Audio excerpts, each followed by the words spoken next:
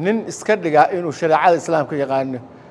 Wiil etoobiyaana oo soomaaliya ra'iisul wasaare looga dhigay oo la yidhaha xamsi cabdi barre oo madaxweynaha somalilan aflagaadaynaya shareecada islaamka iyo qur'aankana ku jeesjeesaya oo ku cayaaraya. Xasan sheikh hadda uu alcarabiye uga lahaa etoobiyay anaa idin siinahaya aniga ii imaada.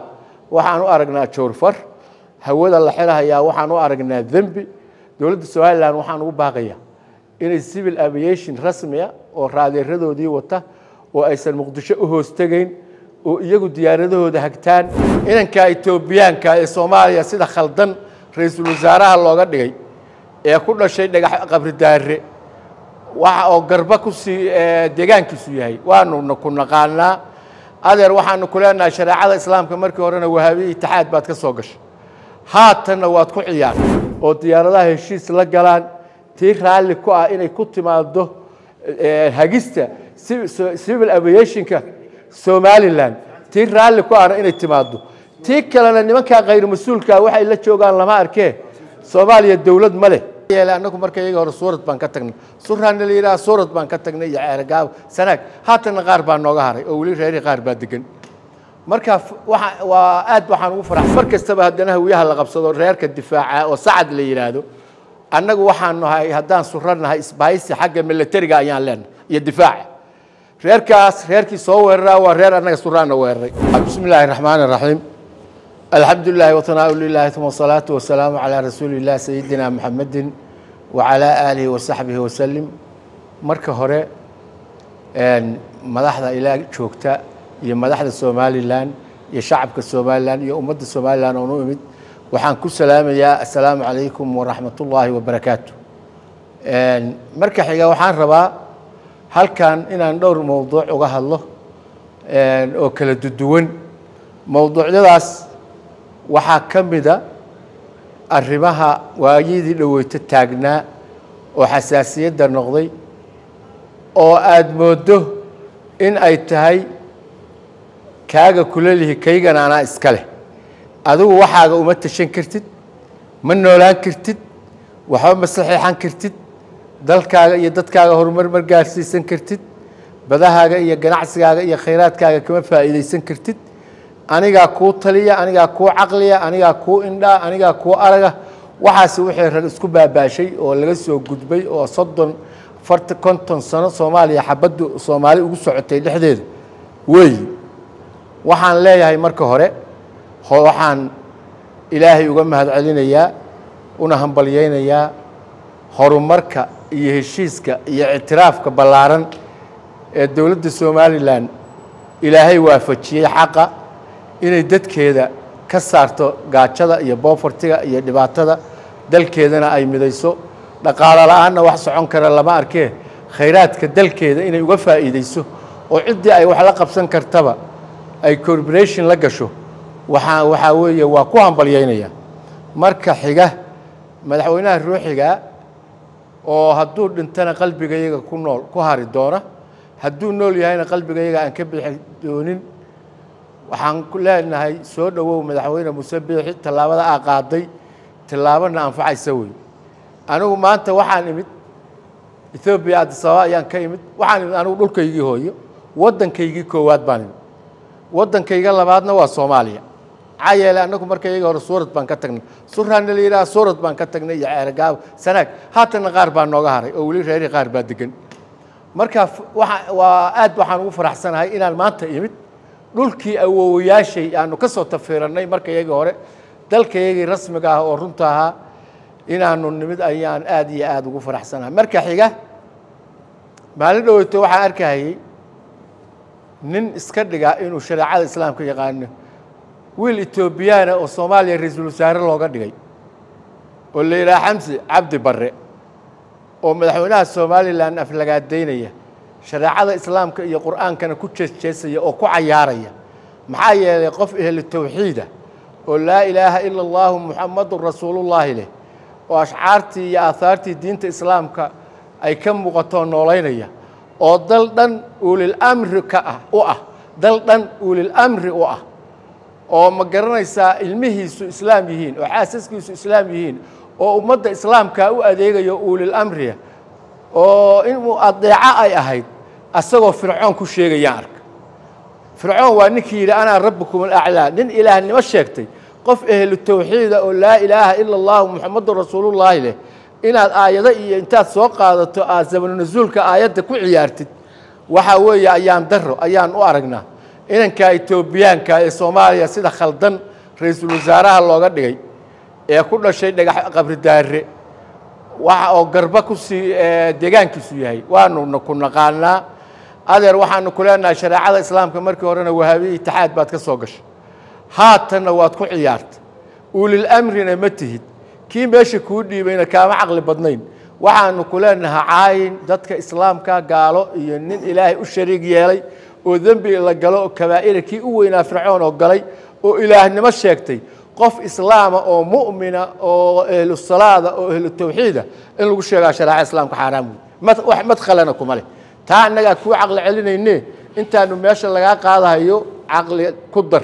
Waayo dhexe waa yaro gegaban jirtay laakiin hadda waxaa weeye furkaa dhigata waxaan halkaan rabaa inaan ka hadlo dad soomaaliya dadka ugu sharafta badana ama xorriyaddii dadkii u soo dagaalamay sidaa ay ka dhasheen sida cabdullaahi ciise maxamuud xaaji faarax oo calanka u n ka soomaaliya ninkii ka taagay ahaa jenaraal caydiid ninka la yidhaahdo xildhibaan cabdisalaam dhabancad oo halgan ku wada sifaysan ku wada tilmaaman.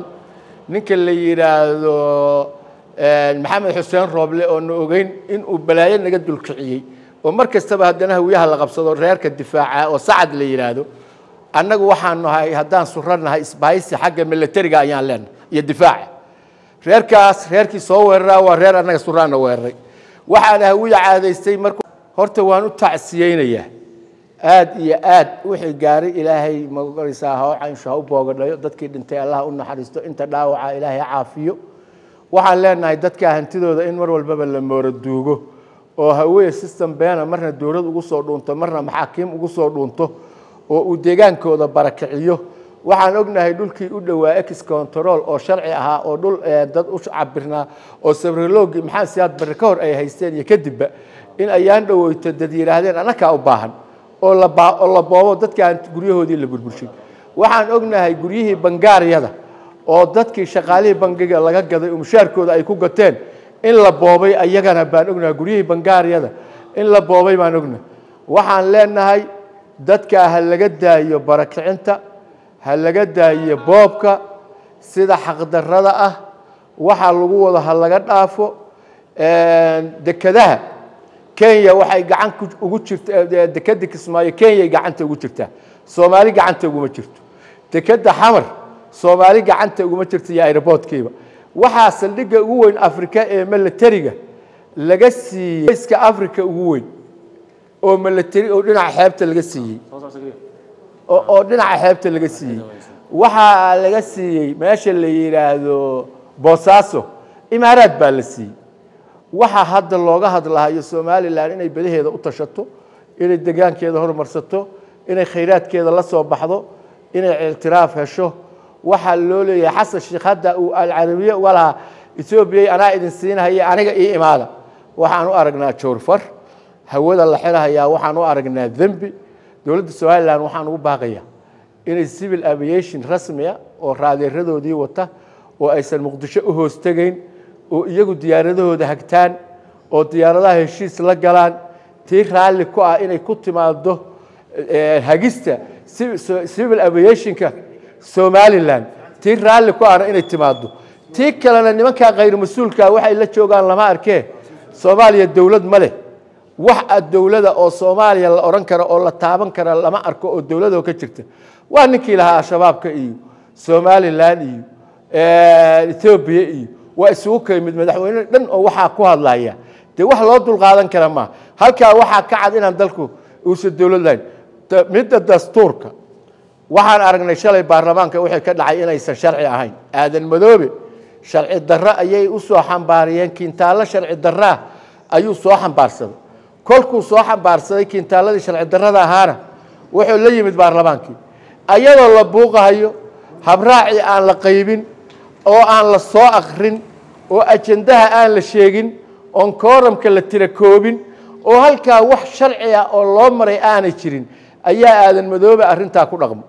Wixii shalay meeshaas laga sheegayna wax aan sharci ahayn baan. Habraaca isugu geeyo ceeldhowreed ayaa sharciyeeyey dastuurka dastuurka xildhibaan wax uu ka bedeli karo. Aadan madoobe wuxuu ku dari karo. Wax xamse ka bedeli karo. Wax ka bedeli kara xasan sheekh maxamuud ma uu jiro. Aqoonsana mayno dastuurna ma haddaan odayaasha dhaqanka nahay ee soomaaliyeed anigoo guud ahaan odayaashii dhaqanka soomaaliyeed ku hadlaya afkooda wax allaaliya waxay dastuurkaa ka bedelaan waa sharci daro maan raxiim maanta waa maalin kale iyo mar kale iyo soo dhoweyntii ugaaska guud ee beelaha direed ugaas cabdilaahi ugaas aadan ugaas xuseen oo runtii aanu farxad ay tahay inaan maanta ku soo dhoweeyo gurigiisii dalkiisii caasimaddiisii hargeysa oo uu safar shaqo oo kooban uu kaga tegey dhowaan. Mar kale ayaanu ku soo dhaweynaynaa ugaas ku soo dhawow magaaladaadii. Soo dhoweyntii caadiga ahayd ee sunna ahayd baanu kuu samaynaynaa. Mininku mininkaagii waaye magaaladu magaaladaadii waaye dalku dalkaagii waaye jamhuuriyaddu waa jamhuuriyaddaadii. Sa aad sheegtay hadal adaa dhameeyey. Runtii ugaas cabdilaahi taariikh dahab baal dahaba ayuu ku leeyahay taariikhda somalilan halgankeeda. Runtii waxa aan kolley soomaalidu iska waxaynu nahay bini aadamku waa iska ilowshiyo dhow yahay haddii aynu kolley aynu maalmaha uu leeyahay sida gaarka u leeyahay aan mid iyo laba ku xuso. Waxa weeyaan ninkii nairobi shanta boqol ilaa iyo kunka qofku dhowaadka intuu isku soo saaray taageerada mugga iyo miisaan kale u muujiyey ciidanka qaranka jamhuuriyadda somalilan dowladda iyo shacabka reer somalilan maalintaasi waa maalin dhawaaqyadiisiina waxba idin xasuusin maayo qof walbaaba qalbigay kaga taallaa. Maalin kalena maalin labaad bay ahayd. Markaan soo koob koobo waxay ahayd maalintii maca ciidan labisan darajooyinkoodii wataa oo ka soo jeeda beelaha sure ama dir koonfureed uu iskugu soo saaray beerta xorriyadda oo ah meel shacab inta la iskugu soo saaro halka ugu mugga weyn ee ugu qaadka weyn leh. Maalintaana gaardigii ciidanku iyagoo calanka jamhuuriyadda somalilan ee tawxiid kale ay huwan yihiin uu kaga dhawaaqay inuu mataqaanaa dagaalka uu qeyb ka yahay gurmadka la iskugu soo habar wacanayay ilaa gaarisa ilaa iyo kilarka shanaad ilaa iyo meel kastaba ilaa puntland iyo jubbaland wuu ka falceliyey isagoo kartidiisa iyo xiniyihiisa iyo tulnimadiisa dhiigu biyo ma aha ayaa halkudhig u ahaa. Ugaas waxaasoo dhan waanu ku ognahay waa taa aan maanta qoraxda aan kugu soo baxnay waa tan ilaa xalay dhan aanu kugu sugaynay ee aanu kusugi kari weynay runtii kalgacal iyo ilaa iyo xalay intii soo dhoweyntaada la iclaamiyey stiikarka. Boqolaal qof telefoonkaygu dabka ayaa iga dhacay. Dadku waxay igu ballaminayeen reer somalilan dadka aan hargeysa ku sugnayn inta badan meelaha fogfog jooga ugaaska si meeqaam mug iyo miisaanlaha loo soo dhoweeyo runtii meeqaamka aad lahayd kugumaanaa soo dhoweyn laakiinse waxaa kuu diyaara shacabkaagii dhallinyartii aqoon-yahankii qaybaha kala duwan ee bulshada reer somalilan iyo dowladdaaduba xaflad aan caynkeedoo kale hore u dhicin ayaa kuu dhici doonta oy diyaarka ugu yihiin. Tanna waxaa aniga shacabka iyo taageerayaashaadu guda iyo dabadbaha joogaan ii wakiisheen inaan kugu soo dhoweeyo afka shacabka somalilan guda iyo dibadba ugaas soo dhowow qalbi furan iyo weji furan ku soo dhowow. Maanta munaasibadda soo dhoweynta ugaaska liajli ixtiraam uu naga mudan yahay. Sidii layga bartay waxba ku dari maayo. Aad iyo aad baa shacabka reer somalilan aan u hambalyaynayaa madaxweynaha jamhuuriyadda somalilan ugu hambalyaynayaa guul iyo gobonimo